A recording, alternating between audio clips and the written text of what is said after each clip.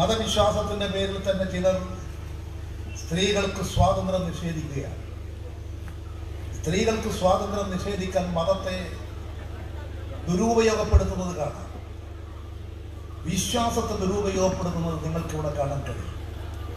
തീർച്ചയായും ഈ സമൂഹത്തിന്റെ ആകെ പ്രവർത്തനശേഷി കൊണ്ട് അത്തരത്തിലുള്ള ധാരണകൾ വെച്ചുപുലർത്തുന്നവരെ തിരിച്ചറിയാനും സ്ത്രീ ശാക്തീകരണം സ്ത്രീ പുരുഷ തുല്യത ഉറപ്പുവരുത്താനും നമ്മുടെ കേരള സമൂഹത്തിന് കഴിഞ്ഞിട്ടുണ്ട് സ്ത്രീകൾക്കും പെൺകുട്ടികൾക്കും നേരെ നടക്കുന്ന അതിക്രമങ്ങളെ സംബന്ധിച്ച് വാർത്തകൾ ദിവസേന വന്നുകൊണ്ടിരിക്കുകയാണ്. ഇന്നും ഈ ഇരുപത്തൊന്നാം നൂറ്റാണ്ടിലും ജീർണിച്ച സ്ത്രീ വിരുദ്ധ ആശയങ്ങൾ പല കോണുകളിൽ നിന്നും ഉണ്ടാകുമ്പോൾ അതിനെ തട തള്ളിക്കളയാനുള്ള ആർജവം സ്ത്രീ സമൂഹം തന്നെ ഉയർത്തി മുന്നോട്ട് വരാൻ വേണ്ടി കഴിയണം എന്നാണ് എനിക്ക് അഭ്യർത്ഥിക്കാനുള്ളത് രണ്ടാം തരക്കാരായിട്ട് സ്ത്രീകളെ കാണുന്നതിനെയും ആ മേധാവിത്വത്തിൽ ഊന്നി നിന്നിട്ടുള്ള പ്രചരണങ്ങളെയും പ്രതിരോധിച്ച് നമുക്ക് മുന്നേറേണ്ടതായിട്ടുണ്ട്. സ്ത്രീ ശാക്തീകരണം വളരെ ഗൗരവത്തോടു കൂടി കണ്ടുകൊണ്ടുള്ള നടപടികളാണ് ശ്രീ പിണറായി വിജയൻ ഗവൺമെന്റ് സ്വീകരിക്കുന്നത്.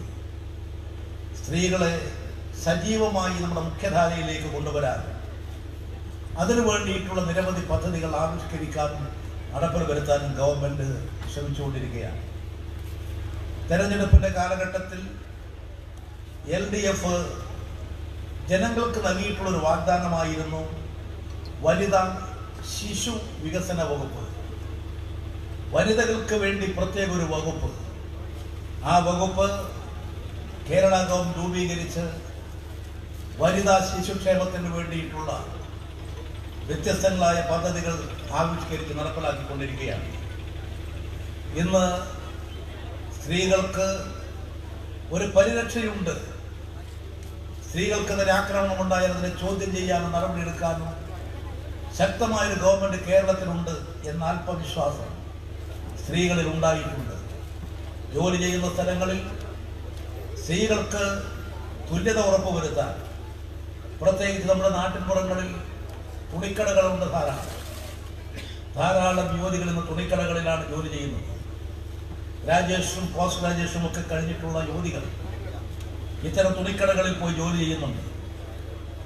എത്രയോ സമയം ജോലി ചെയ്യണം എന്ന് മാത്രമല്ല അവർക്ക് ഇരിക്കാൻ പോലും ഒരു ഇടമുണ്ടാവില്ല. അതുകൊണ്ട് തന്നെ അവർക്ക് കടയിൽ ഇരിക്കാനുള്ള സൗകര്യം ഒരുക്കി കൊടുക്കണം എന്ന നിലയിൽ നടപടികൾ സ്വീകരിച്ചു. ഇരിപ്പണം നിർബന്ധമാക്കിക്കൊണ്ടുള്ള നടപടി ഗവൺമെന്റ് സ്വീകരിച്ചിട്ടുണ്ട് തൊഴിൽ രംഗത്ത് പരമ്പരാഗത മേഖലയിൽ സ്ത്രീകളെ പ്രോത്സാഹിപ്പിക്കാനുള്ള നടപടിയുണ്ട്. തൊഴിൽ നൽകുന്നതിന് വേണ്ടിയിട്ടുള്ള പദ്ധതികൾ ആവിഷ്കരിച്ചിട്ടുണ്ട്. ഇവിടെ ചൂണ്ടിക്കാണിച്ചതുപോലെ പ്രളയകാലത്ത് ദുരിതബാധിതരെ സഹായിക്കാൻ നല്ലതുപോലെ പ്രവർത്തിച്ചിട്ടുള്ള ഒരു വിഭാഗം നമ്മുടെ നാട്ടിൽ യുവതികളും യുവാക്കളുമായിരുന്നു.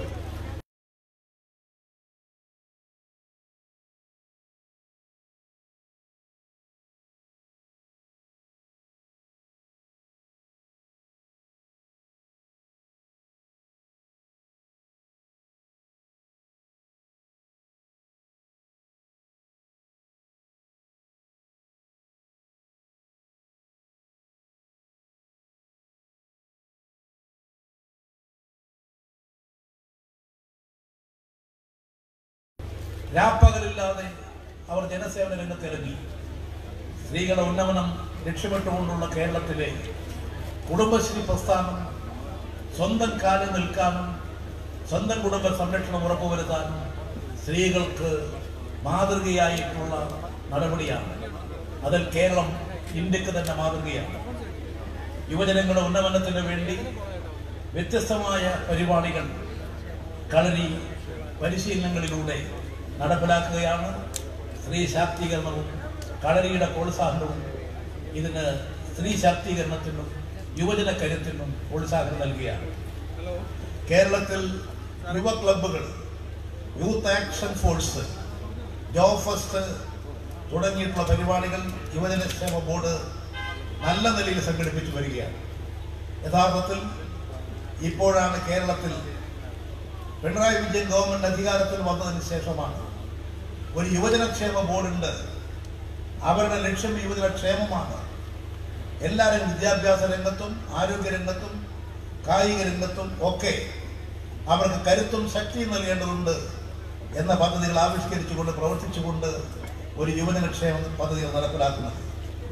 നാടിന്റെ സമ്പൂർണമായ വികസനത്തിന് സ്ത്രീകളുടെ ഉന്നമനം അത്യന്താപേക്ഷിതമാണ്.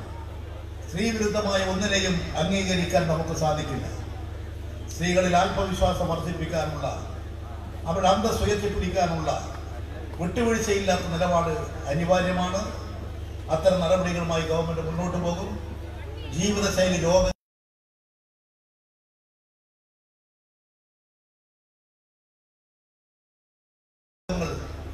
മനുഷ്യജീവിതം ആക്രമിച്ചുകൊണ്ടിരിക്കുന്ന ഈ കാലഘട്ടത്തിൽ സ്ത്രീകളിലേക്ക് തന്നെ ഒട്ടനവധി പുതിയ രോഗങ്ങൾ കടന്നു വരികയാണ്. ക്യാൻസർ പോലുള്ള രോഗങ്ങൾ കടന്നു വരികയാണ്. ജീവിതശൈലി രോഗങ്ങൾ പടരുകയാണ്. ഇത്തരമൊരു ഘട്ടത്തിൽ അയോധന കലകൾ പോലെയുള്ള കരുത്ത് വർദ്ധിപ്പിക്കാനും ശരീരത്തെ സജീവമാക്കി തീർക്കാനുമുള്ള ഓരോ ശരീരത്തിന്റെ ഓരോ അവയവത്തെയും സജീവപ്പെടുത്താനുള്ള ഈ അയോധന കലകളിലൂടെ നമുക്ക് തീർച്ചയായും ആരോഗ്യമുള്ള കരുത്തുള്ള പ്രതിരോധ ശക്തിയുള്ളൊരു മനുഷ്യ ജീവിതം കെട്ടിപ്പടുക്കാൻ കഴിയും. അതുകൊണ്ട് പെൺകരുത്ത് എന്ന ഈ പരിപാടിയിൽ പങ്കെടുക്കുന്ന മുഴുവൻ പെൺകുട്ടികളെയും ഞാൻ അഭിനന്ദിക്കുന്നു. നിങ്ങൾ കൂടുതൽ കൂടുതൽ പരിശീലിക്കുക. ഇതിലൂടെ നിങ്ങൾക്ക് തന്നെ പുതിയ സംഭാവന ചെയ്യാൻ കഴിയും. അതുവഴി നമ്മുടെ സ്ത്രീ സമൂഹത്തിനാകെ ആത്മവിശ്വാസം കൊടുക്കാൻ വേണ്ടി കഴിയും. നിങ്ങൾ ഈ മേഖലകൾ വിജയകരമായി തീരട്ടെ എന്ന് ആത്മാർത്ഥമായി ആഗ്രഹിച്ചുകൊണ്ട് ഈ പരിപാടി ഉദ്ഘാടനം ചെയ്യാൻ മുഖ്യമന്ത്രി എത്തിച്ചേരുമെന്ന് അറിയിച്ചിരുന്നു. പക്ഷേ അടി ഇതിന് വളരെ വളരെ അടിയന്തര പ്രാധാന്യമുള്ള ചില കാര്യങ്ങൾ വന്നുപെട്ടത് കൊണ്ട് അദ്ദേഹത്തിന്റെ ഇവിടെ വന്നെത്താൻ സാധിച്ചിട്ടില്ല. അദ്ദേഹത്തിന്റെ നിങ്ങളെ അഭിനന്ദിക്കാം നിങ്ങളുടെ പ്രവർത്തനങ്ങൾക്ക് വിജയം ആശംസിക്കാം അദ്ദേഹം എന്നെ ചുമതലപ്പെടുത്തിയതനുസരിച്ച് നിങ്ങൾക്ക് എല്ലാവിധ വിജയങ്ങളും നേരുകയാണ്. സ്ത്രീ ശാക്തീകരണത്തിന് വേണ്ടി പെൺകരുത്ത് ശക്തിപ്പെടുത്തുക എന്ന് നിങ്ങളോട് അഭ്യർത്ഥിച്ചുകൊണ്ട് നിങ്ങളുടെ ഈ പരിപാടി ഔപചാരികമായി ഉദ്ഘാടനം ചെയ്തതായി അറിയിച്ചുകൊണ്ട് എന്റെ വാക്കുകൾ ഉപസംഹരിക്കുന്നു. നിങ്ങൾക്ക് അഭിവാദം യുവജന ക്ഷേമ ബോർഡ് സംഘടിപ്പിച്ച ആയോധനകലയുടെ ഭാഗമായി എണ്ണൂറ് പരം യുവതികൾക്ക് പരിശീലനം നൽകിയ സി വി എം കളരിയുടെ മർമ്മമായ ശ്രീ പി തങ്കപ്പനാശാന് യുവജനക്ഷേമ ബോർഡ് നൽകുന്ന ആദരം ബഹുമാനപ്പെട്ട മന്ത്രി നൽകുന്നു.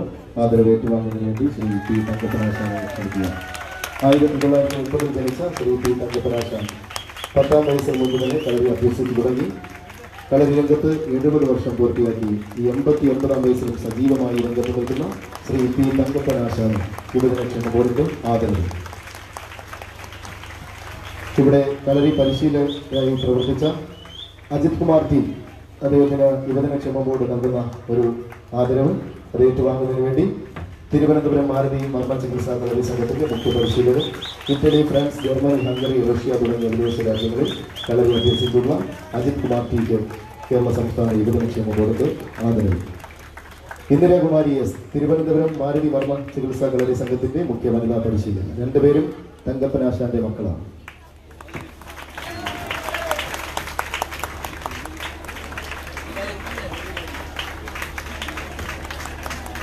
ഈ സമാപന സമ്മേളനത്തിൽ എത്തിച്ചേർന്ന പ്രിയങ്കരനായിട്ടുള്ള മന്ത്രി ശ്രീ ഇ പി ജയരാജൻ അവർക്ക് കേരള സംസ്ഥാന യുവജനക്ഷേമ ബോർഡിന്റെ പേരുള്ള നന്ദി അറിയിക്കുകയാണ്. തുടർന്ന് ആശംസകൾ അറിയിച്ച് സംസാരിക്കാൻ വേണ്ടി യുവജന കമ്മീഷൻ ചെയർ